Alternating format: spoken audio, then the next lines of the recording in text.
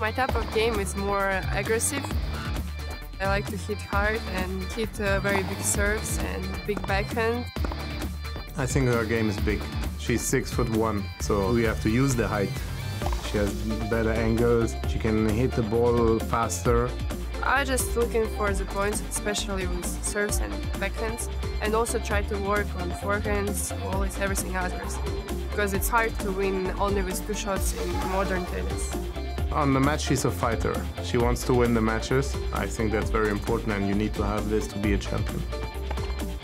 The next steps are definitely to play her best tennis every single week, and then I think she has a good way in front of her. Natalia Vikhlyantseva, one of our 10 to watch in 2018.